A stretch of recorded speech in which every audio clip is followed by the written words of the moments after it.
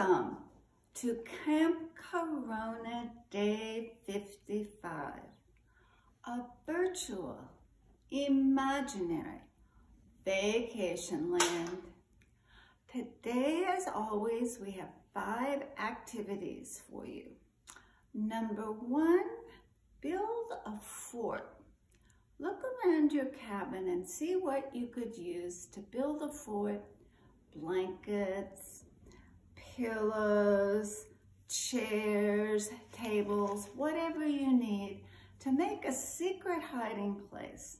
Then go into it and make a nice little nest where you can sit and read by yourself. So that's activity number one. Activity number two is draw a matching outfit for you and a friend, especially something that you could wear to Camp Corona. And you know, there are a lot of opportunities for dressing up or dressing down at Camp Corona. So be creative when you draw these outfits. Number three, write five things in your journal that you did, five things that you didn't do, five things that you wanted to do. So I might write that I have been both reading Agatha Christie mysteries and watching Agatha Christie mysteries on Netflix. The ABC Murders and one I'm watching now, Ordeal by Innocence.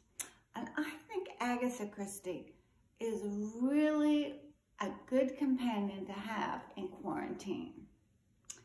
Number four, the Camp Corona catalog. Today, I'll be featuring the bandana in the Camp Corona catalog. Um, the bandana, look, I forgot to put the size. It's 21 inches square. It comes in red or yellow, and it costs 55 cents. And one thing about the Camp Corona catalog that I realized is it would be really good if I made an index for the catalog, for the items in the catalog, so you could see which day there was an activity connected with the various items in case you couldn't remember all the things to do with the bandana.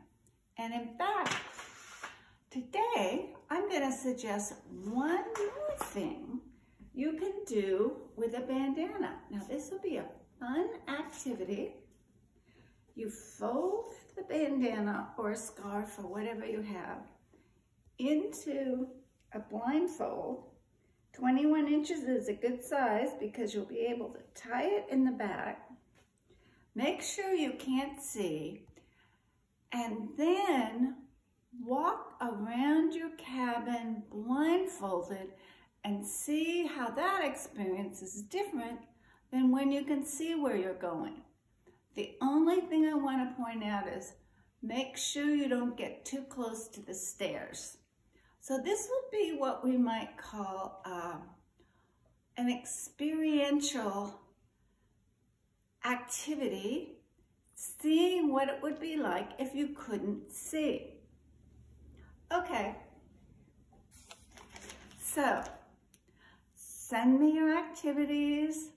Let me know what you're doing. Happy camping.